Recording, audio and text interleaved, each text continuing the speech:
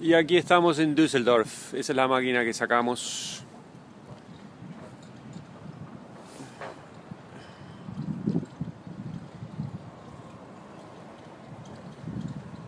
Frío de cagarse.